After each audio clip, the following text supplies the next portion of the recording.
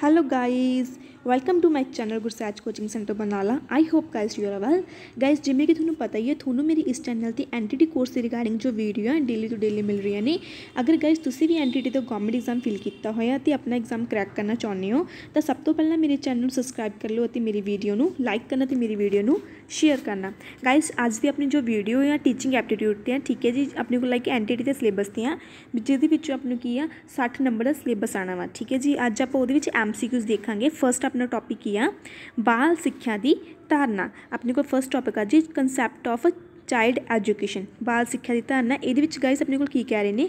First ਜੋ question ਆ, ਸਿੱਖਿਆ ਤ੍ਰੈ ਮੁਖੀ ਪ੍ਰਕਿਰਿਆ ਹੈ, ਇਹ ਕਿਸ ਦਾ ਕਥਨ ਹੈ? ਆਪਣੇ ਕੋਲ ਸਹੀ ਆਨਸਰ ਕੀ ਹੈ ਜੀ?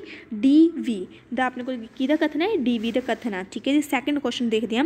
ਇਨ੍ਹਾਂ ਵਿੱਚੋਂ ਕਿਹੜਾ ਤ੍ਰੈ ਮੁਖੀ ਪ੍ਰਕਿਰਿਆ ਦਾ ਅੰਗ ਨਹੀਂ ਹੈ? ਸਹੀ ਆਨਸਰ ਹੈ ਜੀ, ਦੂਰਦਰਸ਼ਨ। ਨੈਕਸਟ ਨੰਬਰ 3 ਸਿੱਖਿਆ ਦਾ ਕਰਮ ਜਨਮ ਤੋਂ ਮੌਤ ਤੱਕ ਚੱਲਦਾ ਹੈ। ਸਿੱਖਿਆ ਦਾ ਇਹ ਅਰਥ ਹੈ। ਕੀ ਅਰਥ ਹੈ? ਵਿਆਪਕ ਅਰਥ। ਨੈਕਸਟ ਨੰਬਰ 4 ਸਿੱਖਿਆ ਵਿਅਕਤੀ ਦੀ ਉਸ ਪੂਰਨਤਾ ਦਾ ਵਿਕਾਸ ਹੈ, ਜਿਸ ਉੱਤੇ ਉਹ ਪਹੁੰਚ ਸਕਦੀ ਹੈ। ਇਹ ਕਿਸ ਦਾ ਕਥਨ ਹੈ? ਸਹੀ ਆਨਸਰ ਹੈ ਜੀ, Kant.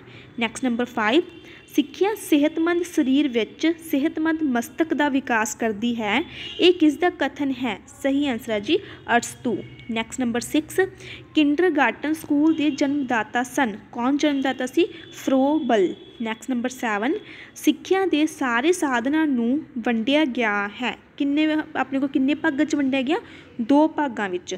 Next number 8 S O S Punjab ਵਿੱਚ ਕਿੱਥੇ ਸਥਿਤ ਹੈ? ਸਹੀ ਆਨਸਰ ਹੈ ਜੀ Rajpura. Next number 9 mobile creches ਕਿਸ ਦੁਆਰਾ ਸ਼ੁਰੂ ਕੀਤੇ ਗਏ? ਸਹੀ ਆਨਸਰ ਹੈ ਜੀ ਮੀਰਾ।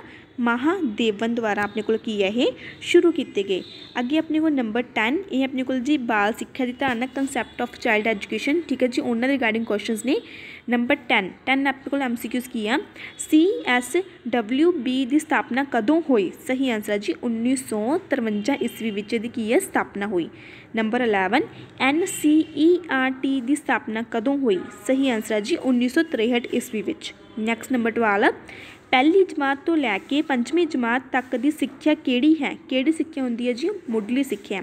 ਨੈਕਸਟ ਆਪਣੇ ਕੋਲ 13 ਮਾਨਸਟਰੀ ਸਕੂਲਾਂ ਦਾ ਵਿਕਾਸ ਕਿਸ ਨੇ ਕੀਤਾ? ਸਹੀ ਆਨਸਰ ਹੈ ਜੀ ਡਾਕਟਰ ਮਾਨਸਟਰੀ ਨੇ। ਨੈਕਸਟ ਨੰਬਰ 14 0 ਤੋਂ ਲੈ ਕੇ 6 ਸਾਲ ਦੀ ਉਮਰ ਵਰਗ ਦੇ ਬੱਚੇ ਕਿਹੜੀ ਸਿੱਖਿਆ ਦੇ ਅਧੀਨ ਆਉਂਦੀ ਹੈ? ਸਹੀ ਆਨਸਰ ਹੈ ਜੀ, ਪੂਰਬ ਮੁੱਢਲੀ ਸਿੱਖਿਆ।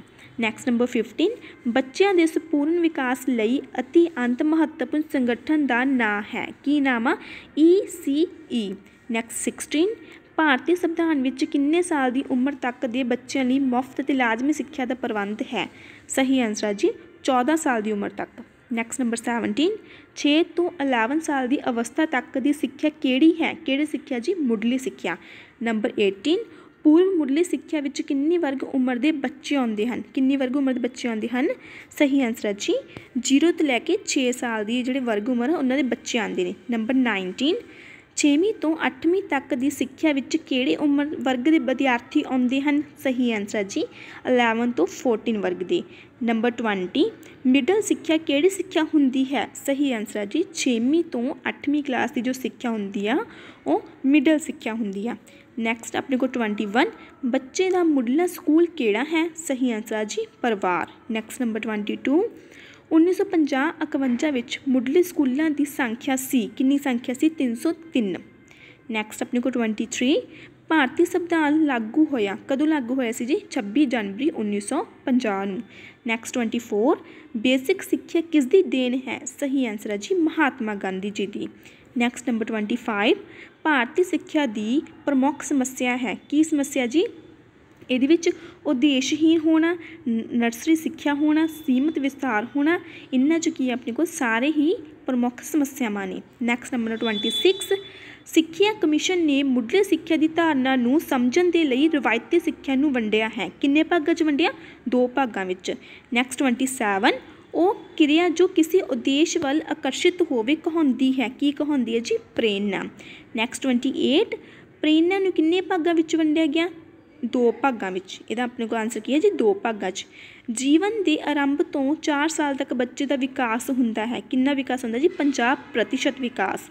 ਨੈਕਸਟ ਆਪਣੇ ਕੋਲ question number 30 central social welfare board ਦੀ ਸਥਾਪਨਾ ਕਦੋਂ ਹੋਈ? ਕਦੋਂ ਹੋਈ ਸੀ ਜੀ? ਆਪਣੇ ਕੋਲ 30 ਦਾ ਆਨਸਰ ਕੀ ਆ?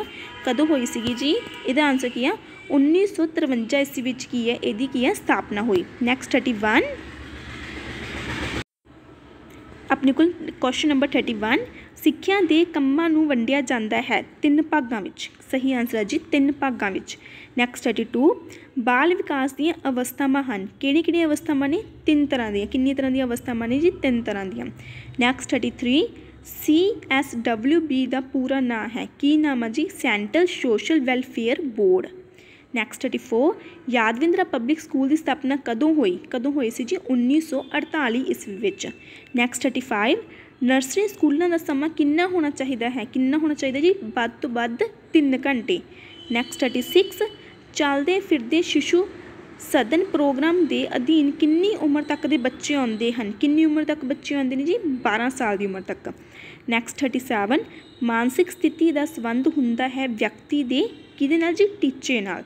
ਨੈਕਸਟ 38 ਸਿੱਖਿਆ ਵਿਅਕਤੀ ਦੀਆਂ ਉਹਨਾਂ ਸਾਰੀਆਂ ਦਾ ਪੂਰਨਤਾ ਦਾ ਵਿਕਾਸ ਕਰਦਾ ਹੈ ਜਿਸ ਦੀ ਉਸ ਵਿੱਚ ਸਮਰੱਥਾ ਹੈ ਉਕਤ ਪਰਿਭਾਸ਼ਾ ਹੈ ਕਿਹਦੀ ਪਰਿਭਾਸ਼ਾ ਜੀ ਇਹ ਆਪਣੇ ਕੋਲ ਕਾਂਟ ਦੀ ਕਿਹਦੀ ਪਰਿਭਾਸ਼ਾ ਜੀ ਇਹ ਕਾਂਟ ਦੀ ਆਈ ਹੋਪ ਗਾਇਸ ਤੁਹਾਨੂੰ ਮੈਨੂੰ ਵਧੀਆ ਲੱਗੀ ਹੋਣੀ ਹੈ ਵੀਡੀਓ ਅੱਜ ਦੀ ਵੀਡੀਓ ਵਿੱਚ ਗਾਇਸ ਆਪਾਂ ਮੀਨਿੰਗ ਜੋ ਟੀਚਿੰਗ ਐਪਟੀਟਿਊਡ ਦੇ ਸੀਗੇ ਚਾਈਲਡ ਵਾਲੇ ਕੁਐਸਚਨ ਸੀਗੇ, ਆਪਾਂ ਉਹ ਕੰਪਲੀਟ ਕੀਤੇ ਨੇ ਬਾਲ ਸਿੱਖਿਆ ਦੀ ਧਾਰਨਾ, ਠੀਕ ਹੈ ਜੀ? ਕਨਸੈਪਟ ਆਫ ਚਾਈਲਡ ਐਜੂਕੇਸ਼ਨ ਮੰਨ ਲਓ ਕਿੰਨਾ ਦੁਆਰਾ ਸ਼ੁਰੂ ਕੀਤੀ ਗਈ ਸੀ, ਕਦੋਂ ਸ਼ੁਰੂ ਕੀਤੀ ਗਈ ਸੀ, ਮੁੱਢਲੀ ਸਿੱਖਿਆ ਕੀ ਹੁੰਦੀ ਆ, ਉਹਦੇ ਬਾਰੇ ਆਪਾਂ ਪੜ੍ਹੇ ਆ। ਗਾਇਸ ਅਗਰ ਵੀਡੀਓ ਤੁਹਾਨੂੰ ਪਸੰਦ ਆਈ ਜਾਂ ਵੀਡੀਓ ਤੁਹਾਨੂੰ ਕੁਝ ਵੀ ਸਿੱਖਣ ਨੂੰ ਮਿਲਿਆ ਵਾ, ਤਾਂ ਮੇਰੀ ਪਲੀਜ਼ ਵੀਡੀਓ ਨੂੰ ਲਾਈਕ ਕਰ ਦਿਆ ਕਰੋ। ਤੁਹਾਡੇ ਲਾਈਕ ਕਰਨਾ ਮੈਨੂੰ ਮੋਟੀਵੇਸ਼ਨ ਮਿਲਦੀ ਆ।